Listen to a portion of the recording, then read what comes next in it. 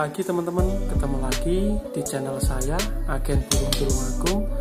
Pagi hari ini, teman-teman menanggapi beberapa pertanyaan tentang setting murai batu balak atau nias.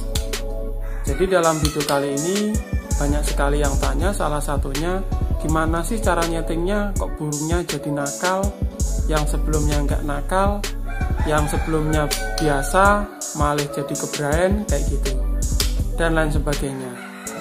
Oke teman-teman sebelum saya lanjut videonya teman-teman yang pengen gabung di grup telegram cek di deskripsi ada linknya. Atau teman-teman yang pengen cari obat-obatan burung lengkap sekali di deskripsi ada nomornya admin. Teman-teman bisa langsung aja cek.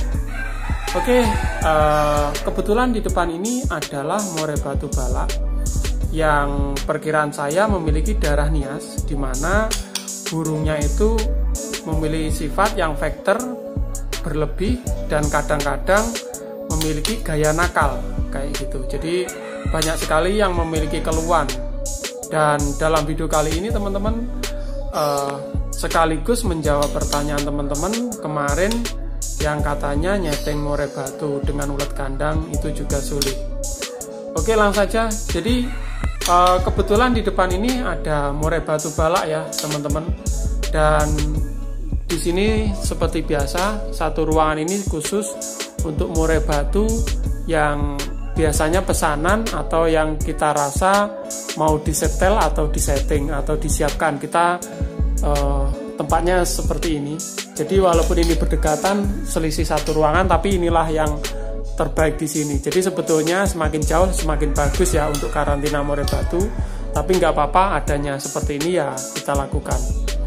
Oke yang pertama jadi karakter more batu nias atau balak biasanya memiliki sifat yang nakal kayak gitu.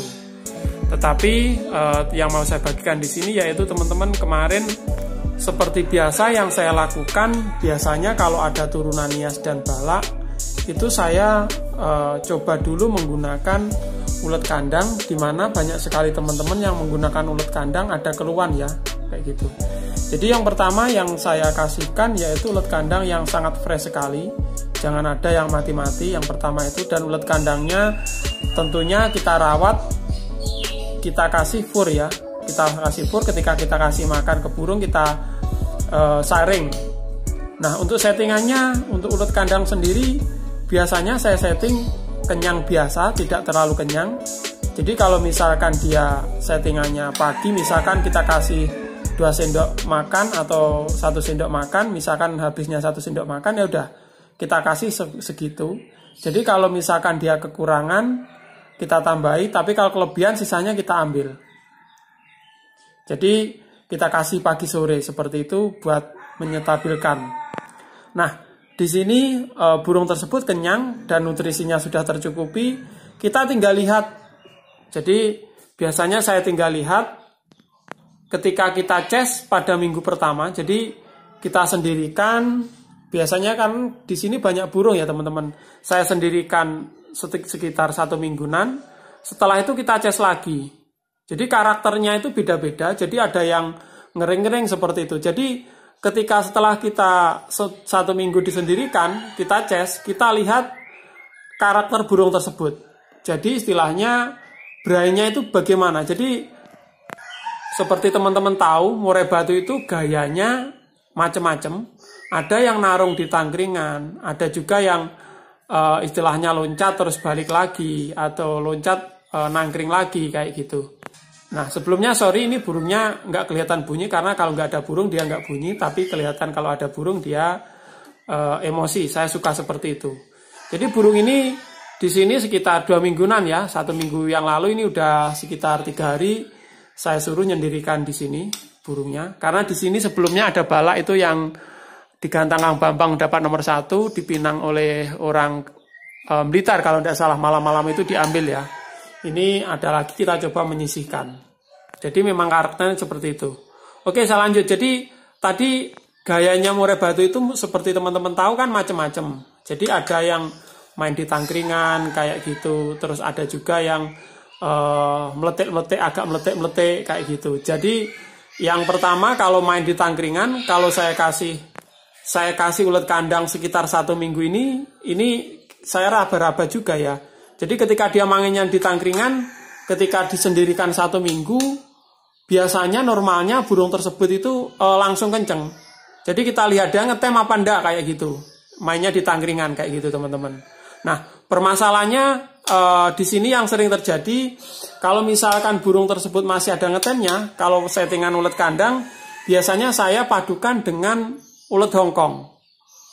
Jadi kalau burung tersebut kurang kenceng atau istilahnya kurang kenceng itu dalam arti bukan segi volume saja, jadi mainnya kadang-kadang ngetem kayak gitu ya. Itu biasanya setelah diistirahatkan cukup atau karantina cukup, dia masih saja tetap ngetem. Biasanya kita kasih ulet kandang, uh, ulet kandang kita kasih ulet Hongkong kayak gitu untuk menaikkan. Tapi kalau misalkan dia terlalu kenceng, kadang-kadang ada sebelumnya dia main di tangkringan, ada ngecopnya di jeruji kayak gitu. Kalau ke Brian itu biasanya kita padukan dengan pemandian. Jadi uh, kita membutuhkan satu minggu lagi sebelum dicoba lagi satu hari sebelumnya itu kita mandikan. Biasanya sudah menurunkan birahi burung tersebut karena makanan ya ini tadi ulet kandang. Itu yang uh, gaya tarung istilahnya negen di tangkringan. Mungkin teman-teman nanti bisa putar lagi ya kalau kurang jelas. Terus selanjutnya di sini permasalahan yang sering terjadi yaitu uh, meletek-meletek. Meletek-meletek di sini saya bedakan jadi dua ya teman-teman ya. Meletek-meletek dengan dia posisi badan tetap bagus ramping atau yang kedua meletek-meletek dengan posisi ngabruk atau setengah ngelowo. Kayak gitu. Nah, di sini kalau misalkan burungnya uh, meletek-metek, dia gacor lagi, terus nggak ada ngetemnya, itu biasanya saya identifikasi itu kekencangan sedikit kayak gitu.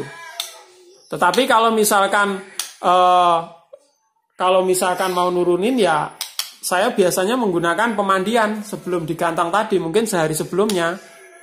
Tetapi kalau misalkan dia loncat ke tangkringan, terus dia uh, loncat ke apa ya jeruji istilahnya ya terus dia bongkar lagi terus roll tembak itu biasanya nggak apa-apa. Memang karakternya seperti itu. Beda lagi dengan pertama lagi tadi. Asalkan posisi burungnya masih rapat.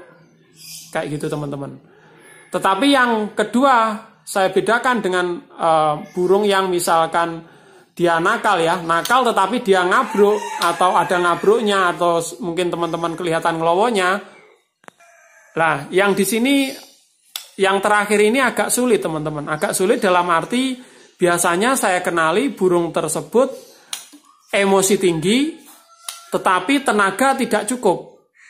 Nah, emosi tinggi, tenaga tidak cukup. Akhirnya burung tersebut eh, pokoknya asal kenal lah, ngabruk. Karena burung tersebut istilahnya nggak punya pikiran, langsung aja ngabruk. Jadi nggak bunyi, nggak, nggak istilahnya nggak gacor, nggak lagu, nggak tembakan yang dikeluarkan. Dia nabruk, balik lagi ngabruk, balik lagi kayak gitu teman-teman. Nah, yang terakhir ini prosesnya itu tadi walaupun dikasih makan ulet kandang di setting seperti apa pun, e, burung tadi biasanya akan sulit. Nah, cara nanganinya yang sudah seperti itu biasanya hanya pengumbaran atau dimasukkan kandang tangkar, teman-teman. Biar staminanya oke.